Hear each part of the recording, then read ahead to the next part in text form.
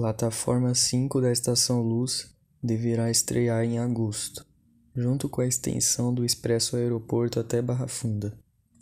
Uma das etapas de obra que estão sendo realizadas pelas equipes é o processo de restauro das estruturas históricas da estação. Os muros com tijolos estão passando por limpeza e repintura com uma tinta especial baseada em elementos minerais. Ao longo da plataforma existe um viaduto histórico, datado do ano de 1898, construído em Londres.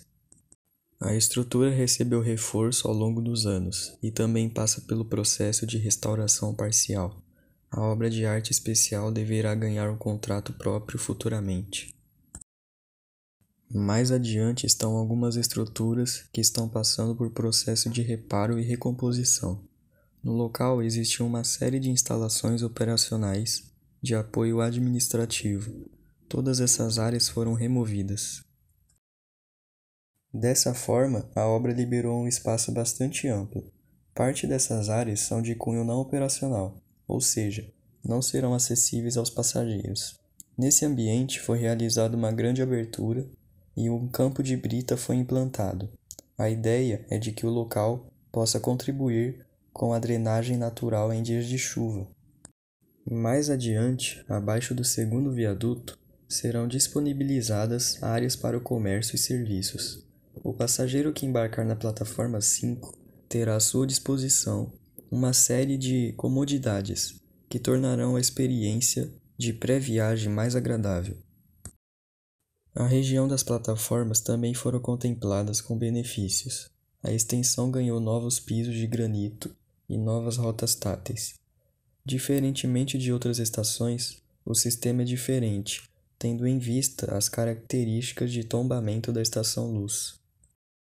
Para além da extensão e comprimento, também será feito alargamento da plataforma, possibilitando maior conforto e segurança para os passageiros. O vão entre o trem e a plataforma foi reduzido tanto em suas proporções verticais como nas horizontais. Jardins foram adotados pela CPTM como uma forma de permitir a drenagem natural, mas também para atuar como um elemento de paisagismo. Os chamados jardins de chuva já foram implantados em outras estações.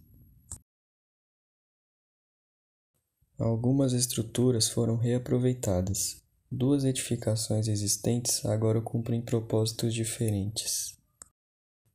Um dos ambientes foi convertido em salas técnicas, onde estarão alocados equipamentos do CFTV e sonorização. Em outra edificação foram instalados os banheiros acessíveis, que estão em fase de instalação dos elementos hidráulicos. O acabamento está praticamente finalizado. Demais elementos como comunicação visual e bancos, inclusive os históricos, estão sendo reformados para posterior implantação. É isso, espero que tenham gostado do vídeo. Se gostou, deixa o like, se inscreva no canal e ative o sininho. Valeu e até a próxima.